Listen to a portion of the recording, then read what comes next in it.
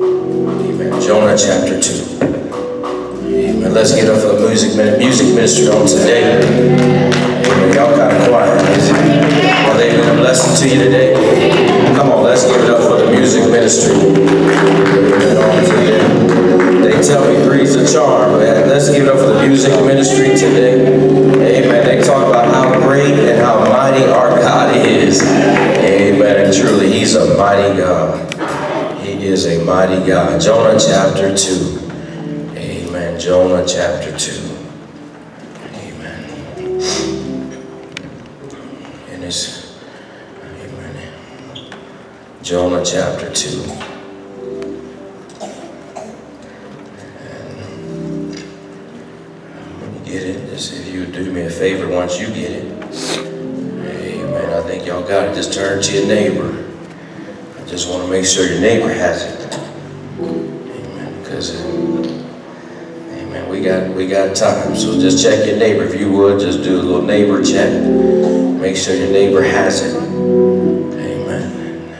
Amen. We got time. Whether we use your Bible or your iPhone, Android, whatever the Bible app that you brought, um, whatever it is, as long as it's the Word, I'm ask that you would find it if you would, because just want to make sure that if you happen to be in Cheddar's or in the waiting room at timeout, amen, baker's line, getting your chicken, or wherever you're going to eat this afternoon, amen. I want you to be able to at least say, a preacher came from the book of Jonah, chapter 2. Amen. Y'all kind of quiet. Amen. Amen. My old grandma used to, my Aunt Pearl, we'd go over her house after Sunday service. My dad would take us by. And she was a member of a local church here in town, had a fantastic preacher. And uh, my dad would always say, well, how was church today? And she said, oh, he, church show was great. And my, my dad would say, well, Pearl, what the preacher preach about? She said, I don't know, but he sure preached. I don't want that indictment on Pleasant Green. Amen. He sure preached. That's what he, that's what she remembered. Uh, verse number 10. And the Lord commanded the fish and vomited Jonah onto dry land. You may be seated.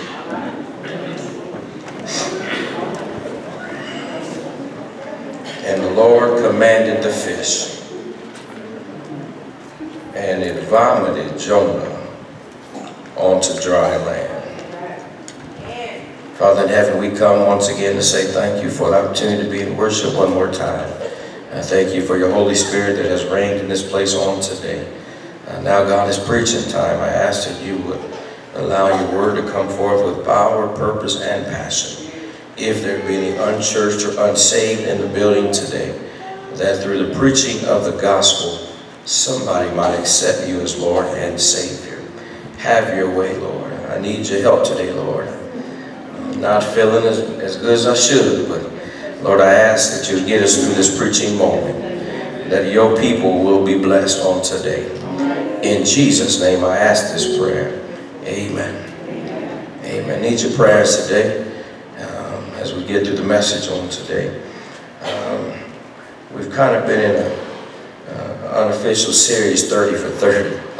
And we know those that watch ESPN um, in the building of 30 for 30 is just a, a, a view of one's life who uh, might have went from rags to riches. And sometimes they go from riches to rags. Amen. I think I got some viewers in here. Um, and so it's always interesting as we take a look at someone else's life and see all the mistakes they made. And, and to say, and oftentimes if I'm, I'm guilty, um, I've often even talked back to the TV and said, if I had all that money. Anybody ever talk back to the TV? I've talked to the TV and I've said, man, if I was in the NBA, I wouldn't spend all my money on houses and cars. If I was a singer and I had a voice like an angel, I, I, I wouldn't have done all that dope and drugs. Y'all kind of quiet. I guess I'm the only one that's ever talked back to the TV when I didn't see myself in their shoes. 30 for 30 just gives a, back, a backdrop of what that individual went through uh, when they were in the mountaintop or in the valley. And so, you know, the Bible is so encouraging because oftentimes I, I see some 30 for 30s even in the Bible. And today, let's look at somebody else 30 for 30, Jonah. And Jonah, the, the title this would be, Jonah would say, God favored me. Amen. So 30 for 30, God favored me by Jonah. Amen. Y'all, y'all know the story. Y'all know the story. Uh, and I'm asking that you just give me a few minutes to, to relook at it just for a few moments because we already know what's going to happen. Jonah did not do what the Lord asked him to do. Jonah got in trouble. God got him out of trouble. That's the text. Turn to him and say, neighbor, God favored me. God favored me. And we look at this time, we see the prophet Jonah, chapter 1, as we take a look, if you don't mind, just in case, I want to take a few moments to give a little background, just in case ever I speculate that somebody's here that may not know who Jonah is. Jonah was a prophet. Chapter 1, he was given a command to go to Nineveh. No doubt, church, this was a tough assignment. Because in chapter 1, verse number 2, God tells him to go to the great city of Nineveh and preach against it because its wickedness has come before me. And Nineveh was a great city. And oftentimes there's some things that come with being a great city. And there was some great sin in that city. The Bible says there was some great wickedness in that city. As a matter of fact, they worshipped idol gods they did not believe in the one and only true and living God.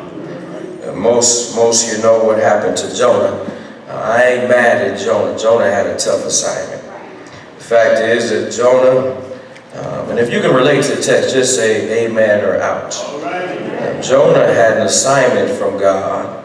And Jonah did what a few of us have often done, told God, no, I ain't doing that. Y'all kind of quiet.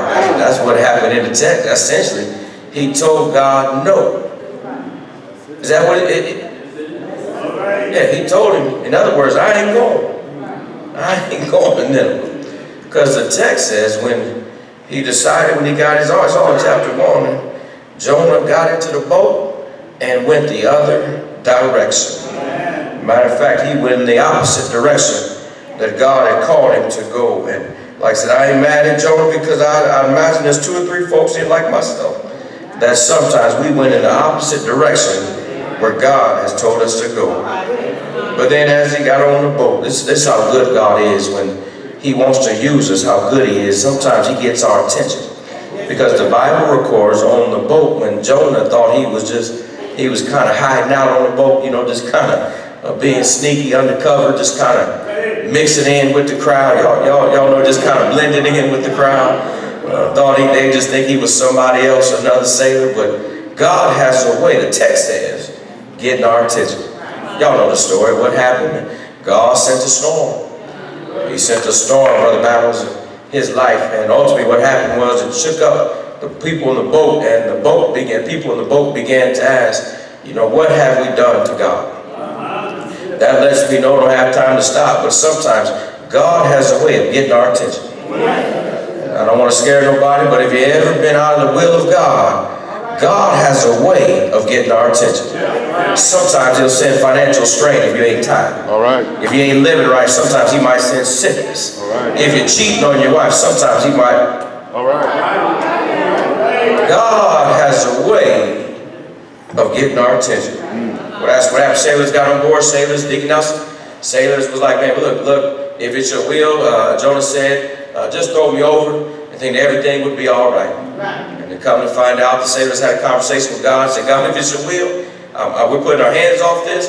Uh, we're going to do as you, as you please. We're going to throw this fool off the boat. Has anybody ever want to throw somebody off the boat before? Come on, don't look at me like that. Y'all got some family members. You just want to throw them off the boat. You ain't got nothing to do with their situation because of the hell they putting you through. You just want to throw them off the boat. it's in the text. It's in the text. I'm still in the text. That's just life. You want to throw some folks off the board. Good news is Lord gonna catch them in a few minutes. So if you throw them off, just throw them to the Lord. And so now he done gone off the boat. And all of a sudden now we're gonna get up to the text. As Jonah goes off the boat, they throw him over. And now Jonah, how good God is. Even in our mess ups, God still catches us. For the Bible says that as they threw him over, somebody caught Jonah. so don't worry when you throw them family members off the boat, God's gonna catch them. He put them in fish. And I love that because caught him, he kept him safe. In the midst of his mess, God still kept him safe. For the Bible says he was alive in the fish. How was he alive? Because he talking to God in the fish. And I love that because God has a way of speaking to you and me to get our attention. And not only did he speak uh, to, to Jonah, I believe he spoke to the fish. He said, fish, I got somebody that ain't acting right. But I don't need you to kill him. I just need you to hold him for a few days. Y'all kind of quiet. And the fish did exactly what God had asked him to do. And I'm so glad that in the midst of such a dangerous situation, even, oh, let, me, let me see, he even put Daniel was in the lion's den. The Hebrew boys was in a fiery furnace. Tells me that God's got a track record of keeping his own. I'm trying to get to the text. But I want to help somebody today know that God has a way of speaking to the very thing that may be holding you down. God can speak to who he needs to speak to. But I want to take a survey in the house today. Has he ever spoken to your husband? Has he spoke to your wife? Has he spoke to your supervisor? Has he spoke to your family and friends? Has he spoke to your lawyer? Has he spoke to your banker? Y'all kind of quiet. I'm I'm gonna run the roll one more time because I know there's at least some folks in the house today that has turned over somebody to God. I'll be the first to admit. I got some. I got some children in here that parents said, you know what? I know he's out of control, but God,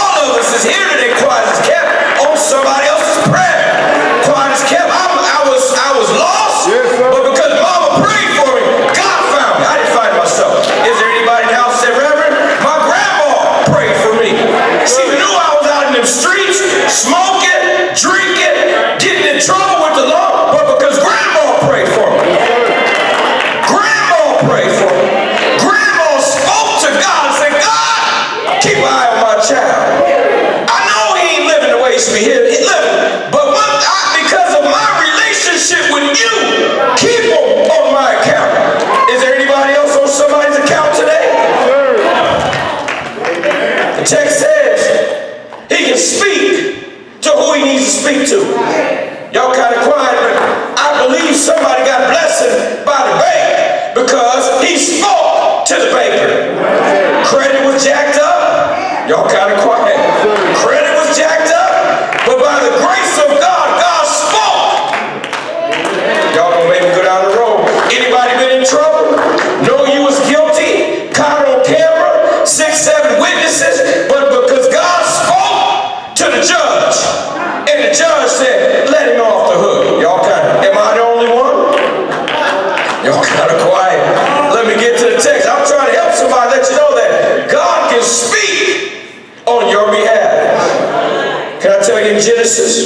He spoke and there was light. Spoke and there was a sky. Spoke and there was water and dry land. Spoke and there was grass and trees. He spoke and there was light and darkness. He said that he spoke and there was creatures. He spoke and there came you and me. I'm excited because the text says when God speaks, things begin to happen. Matter of fact, can I call roll real quick? He spoke to Lazarus, he got up from the dead. He spoke to the winds and they behaved. He spoke to the blind man and he had sight. He spoke to the demonic man, he got cleaned up. He spoke to Paul and Paul quit persecuting the church. Is there anybody in the house today that say, Reverend, I know he can speak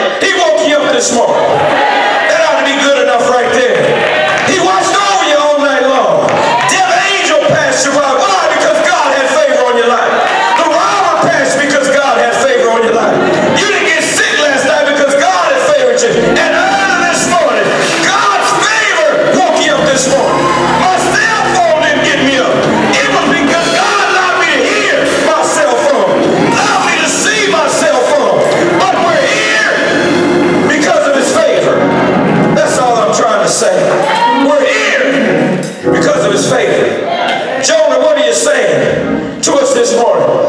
Jonah, tell us why God favored you. After, after you was so disobedient, Jonah, tell us why. What was it about you, Jonah, that made God favor you? I believe Jonah would say, he would say, Pleasant Green, he saved me for a purpose. Can we look at the text? Bible says he saved him for a purpose.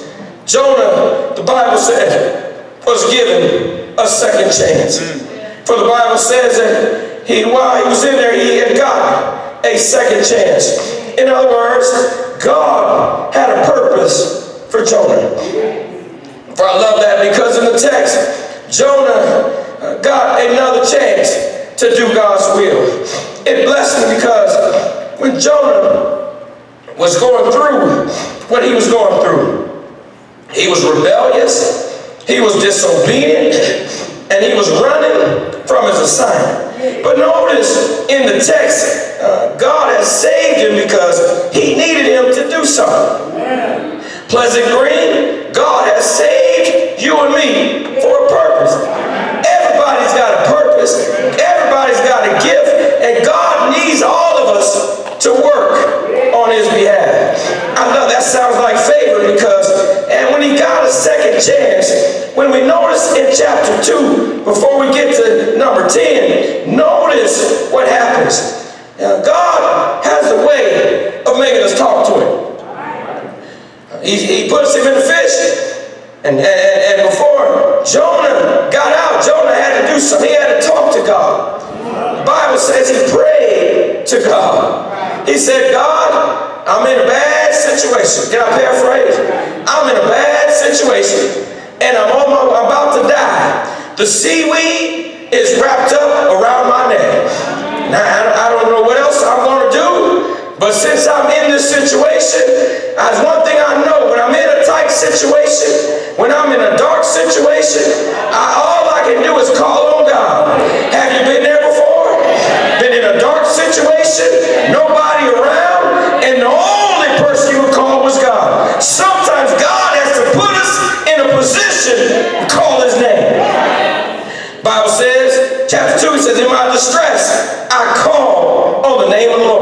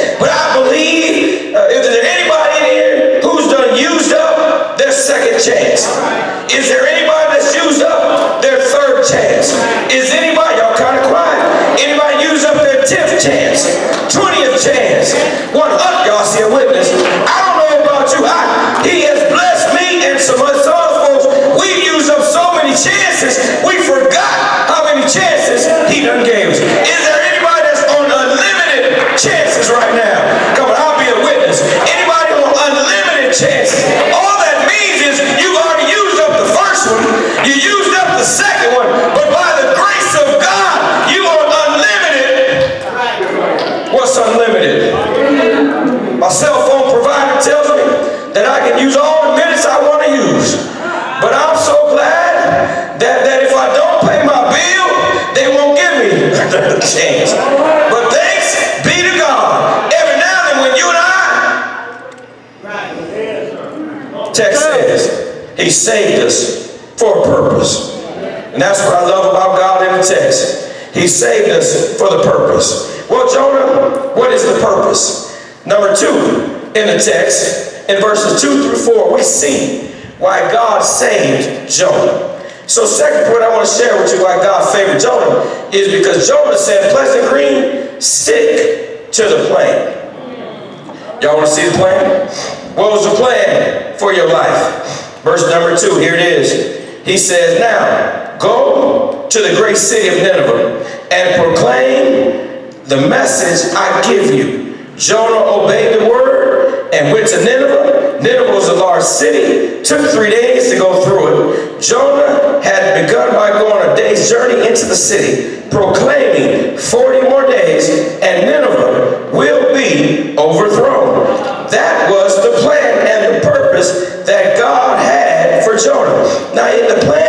Was simple, but it was challenging. The plan was simple, but it was difficult. The plan that he had to do, he had to tell some wicked folks, some mean folks, that judgment was coming. And I don't know about you, but that's not an easy job. When you got to tell some folks who are wicked, they're mean, they're cruel, some of the worst citizens ever. The Ninevites, they were like the baddest of the baddest. And here Jonah had to stand flat-footed and tell them, if you don't get your life right with God, judgment is coming on earth. I don't know about you, but Jonah had a tough assignment. So Jonah, that was the plan. And when Jonah told him what God's plan, Jonah had couldn't put no gimmicks on it, couldn't put no chaser with it. He had to tell them pleased with your life. But Jonah had a testimony to share because the fact he knew something about God's wrath. But he had he, he was able to live to tell that we serve a merciful God. That blessed me because it's not easy, pleasant green. But God favored you and I to tell folks, thus saith the Lord. I love that because that's not just for the preacher, it's just not for the deacon,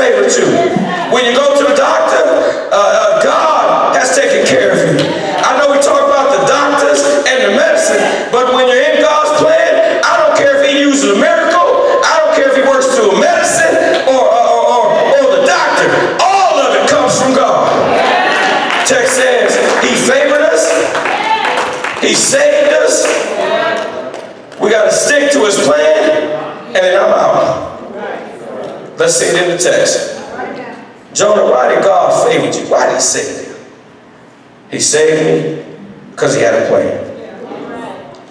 And I'm done. The last thing in the text, as we take a look at Jonah's life, Jonah wants us to know that it's not about us. Salvation and God's plan is also about the people. Jonah says we can't get caught up in our own lives. It's about the people. Yeah. Can I show it to you real quick? Look at verses 5 through 10. As we close out this message, God favored you. We see in the text, after Jonah had did what God asked him to do, look what happens in the text. They believed in God, verse number 5.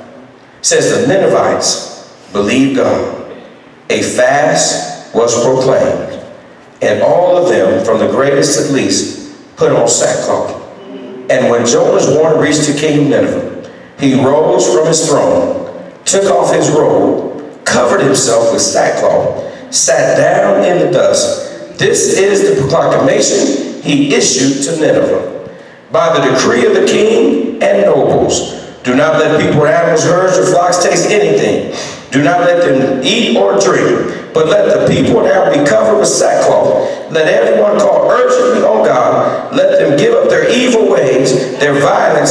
Verse 9, who knows? God may yet relent and show compassion, compassion and his fierce anger, that we will not perish. And when God saw what they had did and how they turned from their evil ways, he relented and did not bring on them the destruction that he had threatened. In other words, when, when, when, when, when Jonah did what God had asked him to do, and that was to preach the gospel, the Ninevites got saved. Amen. Ninevites got saved. Kind of quiet. Kind of quiet. They got saved. That's the text. That's good news. Because the Ninevites, folks, would wrote them off. No good. Rotten folks. Crackheads. Drug addicts. Liars. Cheaters. Gossipers. They wrote them off. Violent folks. Bad attitude. God saved. All because Jonah preached the gospel of Jesus Christ. Because of Jonah, lives were changed. Because of Jonah did what God had asked him to do, souls are now on their way to heaven. Pleasant Green, God favored you. He saved you for a purpose. Stick to the plan and know that it's not about you and me. It's about salvation that people who don't know Jesus might just accept him as Lord and Savior. Now I'm done, but I, I, I wish Jonah was here. I wish I had about five Jonahs that can testify today, that can say, you know what? I was disobedient, but because God loved me so much, he gave me another chance. I wish I had four Jonahs. That would take a moment to look back over your life and can say, you know what? I've had some Jonah moments in my life. But I'm so grateful that God has given me another chance. And if John